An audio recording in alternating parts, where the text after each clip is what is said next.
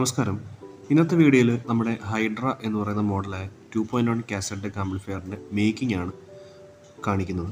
അപ്പോൾ ഒരുപാട് ലെങ്തി ആവാതിരിക്കാൻ വേണ്ടി കുറച്ചൊക്കെ സ്കിപ്പ് ചെയ്ത് അത്യാവശ്യം ഡീറ്റെയിൽ ആയിട്ടും പറഞ്ഞിട്ടാണ് നമ്മൾ ഈ ഒരു വീഡിയോ പോകുന്നത്. അപ്പോൾ ഇതിന്റെ ഒരു ഫുൾ റിവ്യൂ നമ്മുടെ ചാനലിൽ അപ്ലോഡ് ചെയ്തിട്ടുണ്ടായിരുന്നു. ഒരുപാട് പേര് എന്റെ മേക്കിംഗ് വീഡിയോ വേണം എന്ന് പറഞ്ഞുകൊണ്ടാണ് നമ്മൾ ഈ ഒരു മേക്കിംഗ് വീഡിയോ അപ്ലോഡ് ചെയ്യുന്നത്.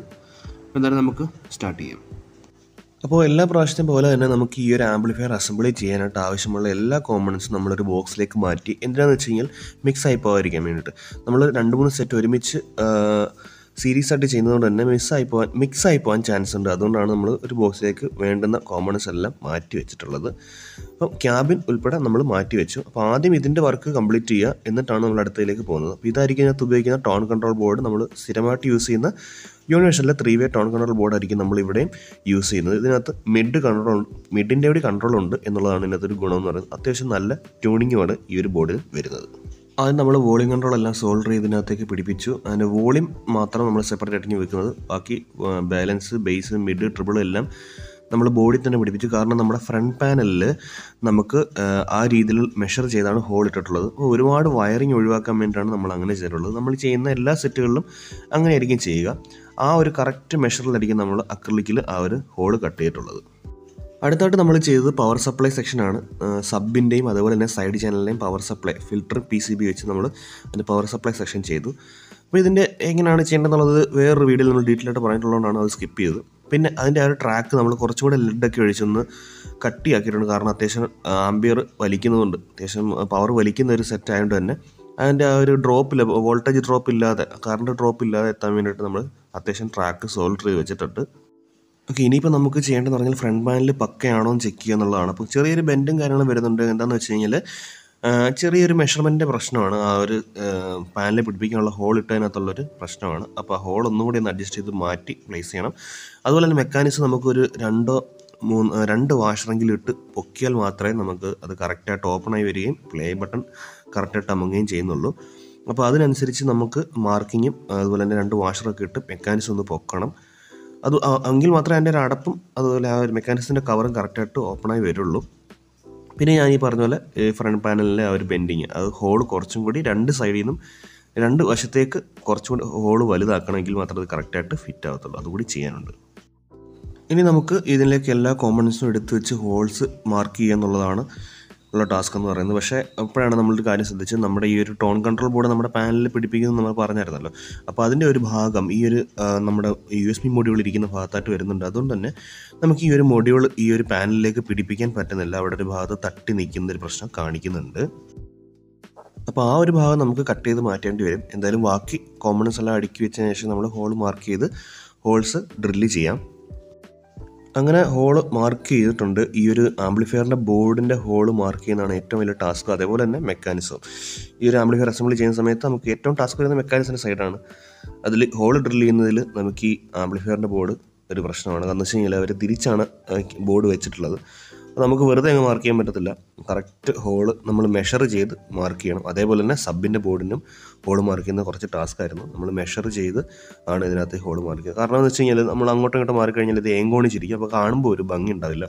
ആംപ്ലിഫയർ ഉള്ളിൽ നിന്ന് നോക്കുമ്പോൾ അപ്പോൾ അതുകൊണ്ട് കറക്റ്റായിട്ട് വെച്ച് നമ്മൾ സ്കെയിലൊക്കെ വെച്ച് മെഷർ ചെയ്ത് വരച്ചിട്ടൊക്കെയാണ് ഹോൾ ഡ്രിൽ ചെയ്തത്. അതുപോലെ തന്നെ മെക്കാനിസം നമ്മുടെ പാനൽ വെച്ച് ഒരു ഒരു എം എം പോലും അങ്ങോട്ടും ഇങ്ങോട്ടും മാറാത്ത രീതിയിലാണ് നമ്മൾ മെക്കാനിസം വെച്ചത്. കാരണം എന്ന് വെച്ച് കഴിഞ്ഞാൽ ഒരു എം എം മാറിക്കഴിഞ്ഞാൽ നമുക്ക് ആ ലെഗ് ഓപ്പൺ ആവുകയും ക്ലോസ് ചെയ്യാനൊക്കെ ഭയങ്കര പാടായിരിക്കും. അതുകൊണ്ട് അത് കറക്റ്റായിട്ട് വരച്ച് ആണ് നമ്മളിത് ഹോൾ ഡ്രിൽ ചെയ്യുന്നത്.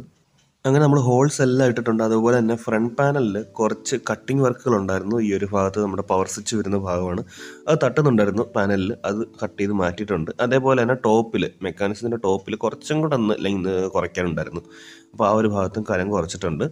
അതുപോലെ തന്നെ മെക്കാനിസത്തിന്റെ സ്ക്രൂ പിടിപ്പിക്കാനുള്ള ഹോളും നല്ലപോലെ വെച്ചിട്ടുണ്ട്. ഇനി ഇന്റീരിയർ മൊത്തം നമുക്ക് മാറ്റ് ബ്ലാക്ക് സ്പ്രേ പെയിന്റ് അടിച്ച് വൃത്തിയാക്കി എടുക്കാം അപ്പോൾ നമ്മൾ ടോൺ കൺട്രോൾ ബോർഡിന്റെ ആ ഒരു ഭാഗം നമ്മൾ കട്ട് ചെയ്ത് മാറ്റിയിട്ടുണ്ട് നമ്മുടെ ഫ്രണ്ട് പാനലിൽ നമ്മുടെ യു എസ് മീഡിയകൾ പിടിപ്പിക്കാനായിട്ട്. ഇപ്പോൾ അത് നൈസായിട്ട് കയറി പോകുന്നുണ്ട്. ഇനി നമുക്ക് ബാക്കി വയറിങ്ങും കാര്യങ്ങളൊക്കെ ചെയ്യാം. ഇത് നമ്മുടെ കരോക്കെ ബോർഡാണ്. ജി ടെക്കിന്റെ കരോക്കെ ബോർഡാണ് നമ്മളിവിടെ ഉപയോഗിക്കുന്നത്. എക്കോ ഡിലേ ഇല്ല. എക്കോ മൈക്ക് കൺട്രോൾ അതുപോലെ മ്യൂസിക് കൺട്രോളാണ് ഇതിനകത്ത് വരുന്നത്. അപ്പോൾ ഇത് നമുക്ക് ഇതിന്റെ വയറിങ്ങും കാര്യങ്ങളെല്ലാം ചെയ്യാം. അപ്പോൾ നമ്മൾ കുറേ വയറിംഗ് ഒക്കെ ചെയ്തു. നമ്മുടെ കരോക്കെ അതുപോലെ tone control board F M അതുപോലെ യു എസ് ബി അതിൽ വി യു മീറ്റർ ഇത്രയും ആവശ്യമായിട്ടുള്ള എല്ലാ വയറിങ്ങും നമ്മൾ ചെയ്തിട്ടുണ്ട്. കുറച്ച് അലക്കുലത്തായിട്ട് തോന്നും പക്ഷേ ലാസ്റ്റ് നമ്മൾ എല്ലാം കൂടി ടൈ ചെയ്യുമ്പോൾ മാത്രമേ അത് ഒതുങ്ങിയിരിക്കത്തുള്ളൂ. അപ്പം ഇതിനെല്ലാം ആവശ്യമായിട്ടുള്ള ട്വൽവ് വോൾട്ട് സപ്ലൈ ഒരു സിംഗിൾ വയറിലാണ് കൊടുത്തിട്ടുള്ളത്. അതിൽ നിന്ന് നമുക്ക് U S മീറ്ററിലേക്കുള്ള five volt regulator I C വഴി കൊടുക്കുന്നുണ്ട്. വി യു മീറ്ററിലേക്കുള്ള ട്വൽവ് വോൾട്ട്. ടോൺ കൺട്രോൾ ബോർഡിൽ നമുക്ക് ഫിഫ്റ്റീൻ സീറോ ഫിഫ്റ്റീൻ വരുന്നത് അത് നമ്മൾ ഒരു ഫിൽറ്റർ പി സി ബിയിൽ നമുക്ക് വരുന്നുണ്ട്. അതിൽ നിന്നാണ് ഒരു ട്വൽവ് വോൾട്ട് ഡി സി നമ്മൾ എടുക്കുന്നത്. പിന്നെ നമ്മുടെ കരോക്കെ ബോർഡ് വർക്ക് ചെയ്യാനുള്ള twelve zero twelve separate transformer എന്നായിരിക്കും നമുക്ക് എടുക്കുന്നത്. അത് എ സി ഇൻപുട്ടാണ് നമുക്ക് അതിലേക്ക് കൊടുക്കേണ്ടത്. അതുപോലെ നമുക്ക് യു എസ് ബി മൊഡ്യൂളിൽ നിന്നുള്ള ഓക്സ് ഇൻ അതായത് നമ്മുടെ ലൈൻ ഇൻ നമ്മൾ ഇതിനകത്തേക്ക് സോൾഡർ ചെയ്ത് പിടിപ്പിച്ചിട്ടുണ്ട്. വയർ കാരണം ഇതിനകത്ത് ആ ഒരു കണക്ടർ ഒന്നും കൊടുത്തിട്ടില്ലായിരുന്നു അവർ നമുക്ക് ബാക്കിൽ ആർ സി സോക്കറ്റ് വഴി കണക്ട് ചെയ്യാൻ വേണ്ടിയിട്ടാണ് ഈ ഒരു വയർ ഇതിനകത്തേക്ക് സോൾഡർ ചെയ്ത് വെച്ചിട്ടുള്ളത്. ഇനി നമ്മൾ കണക്ട് ചെയ്യാൻ പോകുന്നത് നമ്മുടെ three way rotary selector switch ആണ് ഇതിന്റെ കണക്ഷന്റെ ഒരു സെപ്പറേറ്റ് വീഡിയോ നമ്മൾ ചെയ്തിട്ടുണ്ട്. അതുകൊണ്ട് ആ ഒരു ഭാഗം നമ്മൾ സ്കിപ്പ് ചെയ്യും ഇതിനകത്ത് കാണിക്കുന്നില്ല. എങ്ങനെയാണ് ഇതിന്റെ വയർ കണക്ഷൻ കൊടുക്കേണ്ടത് എന്നുള്ളത് ഒരു സെപ്പറേറ്റ് വീഡിയോ ചെയ്തിട്ടുണ്ട്. ഇനി നമ്മൾ തിരിച്ച് ക്യാബിനിലേക്ക് വന്നിട്ടുണ്ട്. ക്യാബിനിൽ നമ്മൾ ആദ്യം എ സി കേബിൾ ഫിറ്റ് ചെയ്തു. എ സി കേബിൾ ചെക്ക് ചെയ്തതിന് ശേഷം മാത്രമാണ് വെച്ചത്. പിന്നെ രണ്ട് ട്രാൻസ്ഫോമറും ചെക്ക് ചെയ്തിട്ട് നമ്മൾ ക്യാബിനിലേക്ക് പിടിപ്പിച്ചു. രണ്ട് ട്രാൻസ്ഫോമറിനെ വയറിങ് എ സി ഇൻപുട്ട് നമ്മൾ കണക്ട് ചെയ്തിട്ടുണ്ട് ത്രൂ ഫ്യൂസ് വഴിയാണ് കൊടുത്തിട്ടുള്ളത്. പിന്നീട് നമ്മൾ സ്പീക്കർ പ്രൊട്ടക്ഷൻ ബോർഡ് കൊടുത്തു. ഇതൊക്കെ വളരെ ബേസിക് ആയിട്ടുള്ള കാര്യമായാണ് സോൾഡർ ചെയ്യുന്നതൊക്കെ കാണിക്കാത്തത്. അപ്പോൾ നമ്മൾ ഒരു ത്രീ ചാനൽ സ്പീക്കർ പ്രൊട്ടക്ഷൻ ബോർഡാണ് ഉപയോഗിച്ചിട്ടുള്ളത് സബിനും അതുപോലെ തന്നെ സൈഡ് ചാനലിനും വേണ്ടിയിട്ട്. ആ ഒരു അത് നമ്മൾ വയറൊക്കെ കറക്റ്റായിട്ട് മെഷർ മെഷർ ചെയ്തിട്ടാണ് വയർ അതിലേക്ക് സോൾഡർ ചെയ്തത്. അപ്പോൾ ആദ്യം സ്പീക്കർ പ്രൊട്ടക്ഷൻ ബോർഡ് നമ്മൾ സെറ്റ് ചെയ്തിട്ടുണ്ട്. പിന്നെ നമ്മുടെ ആമ്പിൽ പ്രത്യേകം എന്ന് പറഞ്ഞാൽ നമ്മൾ സ്പീക്കർ പ്രൊട്ടക്ഷന്റെ എൽ ഇ ഡി നമ്മൾ ഫ്രണ്ടിലേക്ക് കൊണ്ടുവരും എന്നുള്ളതാണ്. അപ്പോൾ അത് നമ്മൾ ഇളക്കി മാറ്റി സോൾഡർ ചെയ്തിട്ടുണ്ട്. നമ്മുടെ മെക്കാനിസത്തിന്റെ തൊട്ട് ബാക്കിലായിട്ടാണ് നമ്മുടെ സൈഡ് ചാനലിന്റെ ബോർഡിന് ആവശ്യമായിട്ടുള്ള ഫിൽട്ടർ ബോർഡ് നമ്മൾ വെച്ചിട്ടുള്ളത്. ശരിക്കും പറയുകയാണെങ്കിൽ നമ്മുടെ ഈ മെക്കാനിസത്തിന്റെ ബാക്കിലായിട്ട് ഒരിക്കലും നമ്മൾ ഈ ഒരു ട്രാൻസ്ഫോമർ ഒന്ന് കൊണ്ടുവെക്കാൻ പാടില്ല. നോയ്സും കാര്യങ്ങളും വരാൻ ചാൻസ് ഉണ്ട് ശരിക്കും പ്രോട്ടോകോൾ അനുസരിച്ച് നമ്മൾ അങ്ങനെ ചെയ്യാൻ പാടില്ല. ട്രാൻസ്ഫോമർ വലത്തെ അറ്റത്തേക്ക് മാറ്റി വെച്ചിട്ട് നമ്മുടെ ഹെഡ് പ്രീ ബോർഡാണ് ഇതിന്റെ തൊട്ട് ബാക്കിലോട്ട് വരുന്നത്. നമ്മുടെ ഹെഡ് പ്രീ ബോർഡ് അവിടെ വരുന്നുണ്ട്. പക്ഷേ നമുക്ക് ഈ ഒരു ക്യാബിനിൽ ഇത്രയും കോമ്പണൻസ് നമുക്ക് വെക്കാൻ സ്ഥലം ഇല്ലാത്തതുകൊണ്ടാണ് അത്രയും കൺജസ്റ്റഡ് ആയിട്ട് നമ്മൾ വെച്ചിട്ടുള്ളത്. ഇതല്ലാതെ മറ്റു വഴിയൊന്നും ഇല്ലാത്തതുകൊണ്ടാണ് അങ്ങനെ ചെയ്തത്. അപ്പോൾ രണ്ട് ട്രാൻസ്ഫോമറും ഉണ്ട് അതിന്റെ രണ്ട് ആംപ്ലിഫയർ ബോർഡും ഉണ്ട് അതിന്റെ ഫിൽറ്റർ ബോർഡും ഉള്ളതുകൊണ്ടാണ് നമുക്ക് ഈ ഒരു കൺജസ്റ്റഡ് ആയിട്ടുള്ള വന്നത്. നമ്മൾ ഫ്രണ്ട് പാനലിലേക്ക് നമ്മുടെ ടോൺ കൺട്രോൾ ബോർഡും കരോക്കെ ബോർഡും ഒക്കെ മാറ്റിയത് കൊണ്ട് കുറച്ചും കൂടെ സ്പേസ് നമുക്ക് കിട്ടി. വയറിങ്ങും കുറയ്ക്കാൻ കുറയ്ക്കാൻ പറ്റിയിട്ടുണ്ട്. നമ്മൾ എന്നിട്ട് ഇതിന്റെ ഔട്ട്പുട്ട് വോൾട്ടേജ് ചെക്ക് ചെയ്തപ്പോൾ ഏകദേശം മുപ്പത്തി എട്ട് അല്ലെങ്കിൽ മുപ്പത്തൊമ്പത് വോൾട്ടോളമാണ് നമുക്ക് ഡി സി വരുന്നത് രണ്ട് ട്രാൻസ്ഫോമറിൽ നിന്നും. സബിന് സെക്ഷനിൽ നമ്മൾ നാല് കപ്പാസിറ്റർ നമ്മൾ ഫിൽറ്റർ ചെയ്തിട്ടുള്ളത്.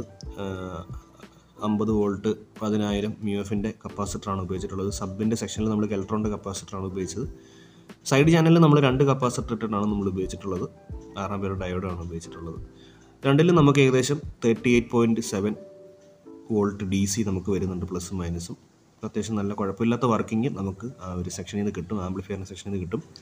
നമ്മൾ കുറേ ഭാഗം സ്കിപ്പ് ചെയ്ത് കളഞ്ഞു. മനഃപൂർവം സ്കിപ്പ് ചെയ്ത് കളഞ്ഞതല്ല നമുക്ക് ടൈം ഇല്ലായിരുന്നു. കാരണം നാളെ രാവിലെ ഒരു അംഗൻവാടി പ്രവേശനോത്സവം പ്രോഗ്രാം ചെറിയൊരു പ്രോഗ്രാമാണ് അതിന് നമുക്ക് ഈ ഒരു ആംപ്ലിഫയർ ആണ് കൊണ്ടുപോകേണ്ടത്. അപ്പോൾ അപ്പോഴത്തേനും നമുക്ക് ഈ ഒരു ആംപ്ലിഫയറിന്റെ വർക്ക് ഫുള്ള് കംപ്ലീറ്റ് കഴിയണം. ആ ഒരു ചെറിയ ഫിൽട്ടർ പി സി ബി വെച്ചേക്കുന്നത് നമ്മൾ നമുക്കറിയാം നമ്മുടെ ടോൺ കൺട്രോൾ ബോർഡിന് ആവശ്യമായിട്ടുള്ള ഡുവൽ പവർ സപ്ലൈക്കാണ് ഒരു കൊച്ചു പി സി ബി വെച്ചിട്ടുള്ളത്. പ്ലസ് ഫിഫ്റ്റീൻ മൈനസ് ഫിഫ്റ്റീൻ കിട്ടണം. നമുക്ക് ഏകദേശം ഫോർട്ടീൻ വോൾട്ടിൽ വർക്ക് ചെയ്തോളും. പിന്നെ ആംപ്ലിഫയറിന്റെ ബോർഡ് നമ്മൾ ഫോർ മോസ്ഫെറ്റും ഫോർ ട്രാൻസിസ്റ്റർ ബോർഡും വെച്ചിട്ടുള്ളത്. നമ്മുടെ ചാനലിൽ ഓൾറെഡി റിവ്യൂ ചെയ്തിട്ടുള്ള ബോർഡുകളാണ്. അതുകൊണ്ട് ഡീറ്റെയിൽ ആയിട്ട് പറയുന്നില്ല. Five two double zero one nine four three four MOSFET ബോർഡുമാണ് ഉപയോഗിച്ചിട്ടുള്ളത്. അത് നമ്മൾ സ്ക്രൂ ചെയ്ത് വെച്ചു അതുപോലെ വയറിംഗ് ഒക്കെ ചെയ്ത് ടാഗ് ചെയ്ത് വെച്ചിട്ടുണ്ട്. അപ്പോൾ ആംപ്ലിഫയറിന്റെ സെക്ഷൻ മൊത്തം നമ്മൾ വയറിംഗ് ചെയ്തിട്ടുണ്ട്. അതിന്റെ ഫ്രണ്ട് പാനൽ നമ്മൾ നേരത്തെ ചെയ്ത് വെച്ചതുകൊണ്ട് ഈ ഒരു പാനലും ഈ ഒരു ബോർഡും എല്ലാം നമ്മൾ ആ ഒരു ക്യാബിനിലേക്ക് പിടിപ്പിക്കുക എന്നുള്ളത് മാത്രമാണ് ഇനി നമ്മുടെ ടാസ്ക് എന്ന് പറയുന്നത്. നമ്മളിപ്പം സബും അതേപോലെ തന്നെ മെക്കാനിക്സിന്റെ സെക്ഷനും കാസറ്റ് മെക്കാനിക്സിന്റെ സെക്ഷനും നമ്മളിപ്പോൾ ചെയ്യുന്നില്ല. കാരണം നാളത്തെ ഫംഗ്ഷന് നമുക്ക് അതിന്റെ ആവശ്യമില്ല. മൈക്ക് വേണം. അതേപോലെ തന്നെ പാട്ടിടണം കുഞ്ഞു കുട്ടികളുടെ കുറച്ച് ചെറിയ ഡാൻസും കാര്യങ്ങളൊക്കെ ഉള്ളതുകൊണ്ട് അത് ഒരു സൈഡ് ചാനൽ മാത്രം നമുക്കിപ്പം വർക്ക് ചെയ്താൽ മതി. അതുകൊണ്ട് അതും ആദ്യമേ നമ്മൾ ചെയ്തു വെച്ചിട്ട് നാളെ ഈ ഫംഗ്ഷന് കൊണ്ടുപോവുക. അതിന്റെ ഓഡിയോ ക്വാളിറ്റി എത്രത്തോളം നമുക്കപ്പം റിയൽ ലൈഫിൽ ചെക്ക് ചെയ്യാനും പറ്റും. അതുകൊണ്ടാണ് നമ്മൾ ഇത്രയും പെട്ടെന്ന് ചെയ്തത്. അപ്പോൾ എന്തായാലും സമയം ഏകദേശം മൂന്ന് മണിയായി. ഞാൻ രാത്രിയിൽ ഇരുന്നായിരുന്നു ചെയ്തത്. കാരണം നാളെ നാളെ രാവിലെ ഈ വർക്ക് ചെയ്യേണ്ടതാണ്. സബിന്റെ സെക്ഷൻ നമുക്ക് കാണാൻ പറ്റുക വോളിംഗ് കൺട്രോൾ ഒന്നും എടുത്ത് കൊടുത്തിട്ടില്ല. അവിടെ ജസ്റ്റ് ഒട്ടിച്ചങ്ങ് വെച്ചത്. ഫ്രണ്ട് പാനൽ ഞാൻ ജസ്റ്റ് ഒട്ടിച്ച് വെച്ചത്. നമ്മൾ ഈ ഒരു ഫുൾ റേഞ്ച് സ്പീക്കർ ആയിരിക്കും നമ്മൾ ഉപയോഗിക്കുന്നത്. ഫിലിപ്സിന്റെ നമ്മൾ ഓൾറെഡി നമ്മുടെ ചാനൽ റിവ്യൂ ചെയ്തിട്ടുള്ള ഫുൾ റേഞ്ച് സ്പീക്കർ ആയിരിക്കും നമ്മൾ ഉപയോഗിക്കുന്നത്. അപ്പോൾ അതുപോലെ തന്നെ മെക്കാനിസം ഒന്നും ഞാൻ പിടിപ്പിച്ചിട്ടില്ല. നാളെ രാവിലെ ജസ്റ്റ് കൊണ്ടുപോയി ഓഡിയോ ക്വാളിറ്റി നമുക്ക് റിയൽ ലൈഫിൽ ചെക്ക് ചെയ്യാൻ പറ്റും. എത്രത്തോളം സൗണ്ട് ത്രോ ഇപ്പോൾ ഒരു ഫംഗ്ഷന് ഉപയോഗിക്കാൻ പറ്റുന്ന ഒരു കണ്ടീഷൻ ആണോ നമുക്ക് അറിയുകയും ചെയ്യാം. എത്രത്തോളം സൗണ്ട് ത്രോ വരുന്നുണ്ടെന്നുള്ളതും നമുക്ക് നമുക്ക് അറിയാൻ പറ്റും. പക്ഷേ നമുക്ക് ഈ ഒരു വീഡിയോയിൽ അത് ഉൾക്കൊള്ളിക്കാൻ പറ്റില്ല. കാരണം കൂടുതൽ സോങ്ങുകൾ നമുക്ക് കോപ്പറേറ്റ് അടിക്കാൻ ചാൻസ് ഉണ്ട്. അതുകൊണ്ട് അങ്ങനെ അധികം നമുക്ക് ഉൾക്കൊള്ളിക്കാൻ പറ്റാത്തൊരു കണ്ടീഷനായിരിക്കും അപ്പോൾ എന്തായാലും എല്ലാം ഓൺ ചെയ്ത് റെഡിയാക്കിയിട്ടുണ്ട് power supply switch power switch ഒന്നും കൊടുത്തിട്ടില്ല. അകത്ത് ജോയിന്റ് ചെയ്തിട്ടുള്ളൂ. എല്ലാം വർക്കിംഗ് കണ്ടീഷനിൽ ആക്കിയിട്ടുണ്ട്. പിന്നെ എന്റെ ഞാൻ സൂചിപ്പിച്ചതുപോലെ നിങ്ങളുടെ ഇരിക്കുന്ന ഓരോരുത്തരും ഈ പരിപാടി വളരെ ഗംഭീരമാക്കണം ഞാൻ പോവുകയാണ്. അപ്പോൾ എനിക്ക് നിങ്ങളുടെ പരിപാടി കേൾക്കാൻ കഴിയില്ല. നിങ്ങളൊക്കെ പാടാൻ വേണ്ടി പാടണം എന്നുള്ളത് കൊണ്ട് ഒരു പ്രചോദനമായിട്ട് ഞാനൊരു ഒരു ശാ- ശാലം പാട്ട് പാടാം. വഞ്ചിതൻ വാപിളർന്നമരുന്ന ക്രയശേഷി വർദ്ധിച്ച വിശ്വാസമേടകൾ പല നിറക്കാറുകൾ പല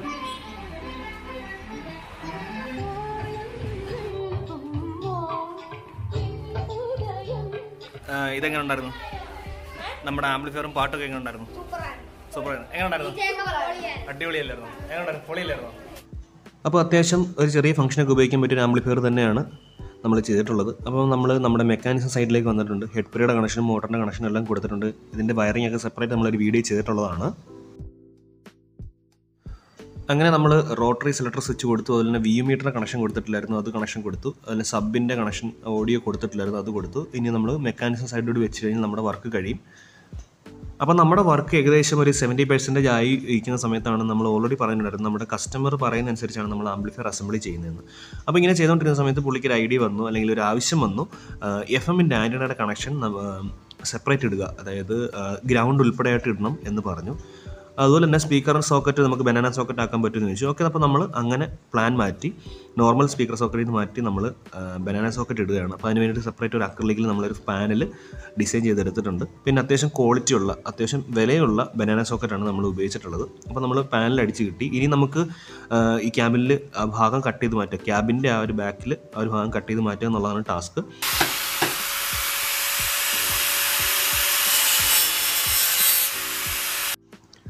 നമുക്കിത് ക്യാബിൻ ആദ്യമേ നമ്മൾ ഫ്രണ്ട് ഭാഗം കട്ട് ചെയ്തിട്ടാണ് നമ്മൾ ഈ ഒരു സെറ്റ് ചെയ്തത്. ക്യാബിനിൽ അത്യാവശ്യം നമുക്ക് വർക്ക് ഉണ്ടായിരുന്നു. കാരണം ഇത് ഫൈവ് പോയിന്റ് വണ്ണിന്റെ ക്യാബിനാണ്. അപ്പോൾ ഫ്രണ്ട് ഭാഗം നമ്മൾ കട്ട് ചെയ്ത് മാറ്റി മെക്കാനിസം വെക്കുന്ന രീതിയിലാക്കി. പിന്നെ മെക്കാനിസത്തിന്റെ സ്ക്രൂ ഇടാനായിട്ട് അത്യാവശ്യം നല്ല രീതിയിൽ നമുക്ക് വർക്ക് ഉണ്ടായിരുന്നു. ആ ഒരു കറക്റ്റ് അലൈൻമെന്റ് കിട്ടാനായിട്ട് കുറച്ച് വർക്കും കാര്യങ്ങളും അതിനകത്തുണ്ടായിരുന്നു അതിനുശേഷമാണ് ഇത് ഈ ഒരു വർക്ക് വന്നത്. അപ്പോൾ ഒരു ട്രാൻസ്ഫോമറിൽ ടച്ച് ചെയ്യാതെ വേണം നമുക്കിത് കട്ട് ചെയ്തെടുക്കാനായിട്ട്. പിന്നെ അത് കറക്റ്റായിട്ട് അലൈൻ ചെയ്ത് വെക്കുകയും വേണം.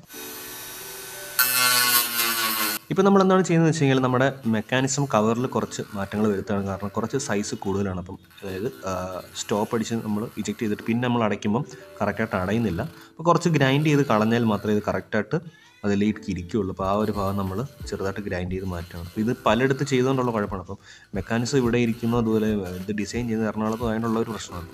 നമ്മൾ ആദ്യം ചെയ്യുന്ന വർക്കായതുകൊണ്ട് അതിന്റെയുള്ള പോരായ്മകളുണ്ട്. അതൊന്ന് ഗ്രൈൻഡ് ചെയ്ത് കുറച്ച് സൈസ് ഇടത്തെ സൈഡിലും അതുപോലെ തന്നെ താഴെ ഭാഗത്തും സൈസ് കുറയ്ക്കാനുണ്ട്. അതൊരു കഴിഞ്ഞാൽ നമ്മുടെ വർക്ക് കംപ്ലീറ്റ് ആയിട്ട് കഴിഞ്ഞു.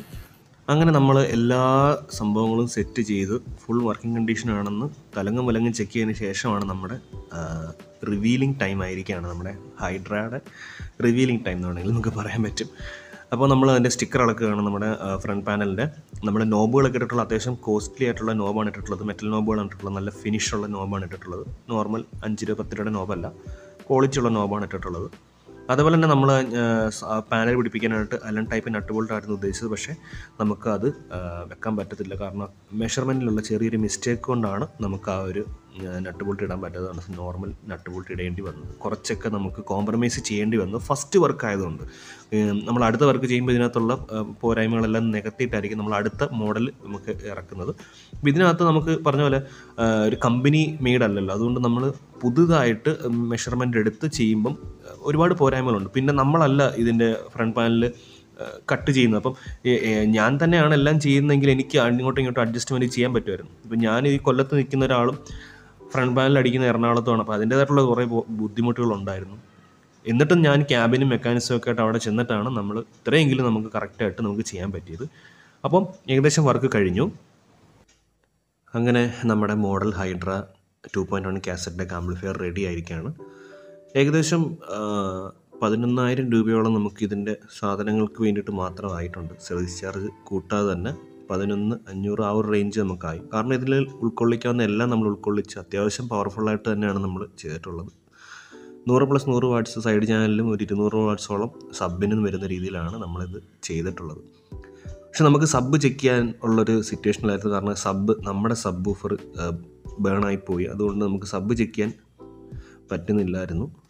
മാത്രമല്ല ലാസ്റ്റ് നിമിഷം നമുക്കൊരു റഷായിരുന്നു ഇത് ഡെലിവറി ചെയ്യേണ്ട ടൈമായിരുന്നു അതുകൊണ്ട് സബ് നമ്മളല്ലാണ്ട് സാധാ ഈ കാണുന്ന ബോക്സിൽ തന്നെ കൊടുത്ത് സബ് നമ്മൾ ചെക്ക് ചെയ്തു. പക്ഷേ ഞാൻ പറഞ്ഞ പെർഫോമൻസ് എത്രത്തോളം ഉണ്ടെന്ന് ചെക്ക് ചെയ്യാൻ നമുക്ക് കഴിഞ്ഞില്ല. പക്ഷേ സംഭവം ഡെലിവേർഡായി അത്യാവശ്യം അടിപൊളിയായിട്ട് തന്നെ പുള്ളിക്ക് വർക്ക് ചെയ്യുന്നുണ്ട്. സബ്ബെല്ലാം അടിപൊളി പെർഫോമൻസ് ആണ്. അപ്പോൾ ഇത്രയാണ് ഈ ഒരു ഡെക്കിന്റെ മേക്കിംഗ് വീഡിയോ എന്ന് പറയുന്നത്. അത്യാവശ്യം നല്ല രീതിയിലുള്ളൊരു വർക്ക് നമുക്ക് ഇതിനകത്തുണ്ടായിരുന്നു കാരണം എന്താണെന്ന് വെച്ചാൽ നമ്മൾ സാധാ ഒരു സെറ്റ് ചെയ്ത പോലെ അല്ല ഇതിനകത്ത് ഈ ഒരു മെക്കാനിസം സൈഡിലേക്ക് വരുന്നതാണ് നമുക്ക് ഒരുപാട് ടാസ്ക് വന്നിട്ടുള്ളത്. പാനലിൽ കുറേ വർക്കുകളുണ്ടായിരുന്നു പിന്നെ ഇത് ഒന്ന് എല്ലാ സാധനങ്ങളും ഈ ഒരു സെറ്റിലേക്ക് അലൈൻ ചെയ്ത് വെക്കുന്നതിലും നമുക്കൊരു ബുദ്ധിമുട്ടുണ്ടായിരുന്നു എല്ലാം എല്ലാം നമ്മളെന്തായാലും ഏകദേശം വൃത്തിയായിട്ട് തന്നെ ചെയ്തു എന്ന് വിശ്വസിക്കുന്നു. അങ്ങനെ നമ്മളിത് അത്യാവശ്യം നല്ല രീതിയിൽ തന്നെ പാക്ക് ചെയ്ത് ഇതിന്റെ റിമോട്ട് ഉൾപ്പെടെയായിട്ട് നമ്മളിത് ഡെലിവറിക്ക് കൊടുക്കുകയായിരുന്നു. അപ്പോൾ ഇത്രയേ ഉള്ളൂ ഇതിന്റെ മേക്കിംഗ് വീഡിയോ എന്ന് പറയുന്നത്. അപ്പോൾ ഹൈഡ്ര എന്ന് പറയുന്ന ഈ ടു പോയിന്റ് വൺ ഡെക്കിന്റെ മേക്കിംഗ് വീഡിയോ ഇഷ്ടപ്പെട്ടാൽ തീർച്ചയായിട്ടും ലൈക്ക് ചെയ്യുക ഷെയർ ചെയ്യുക.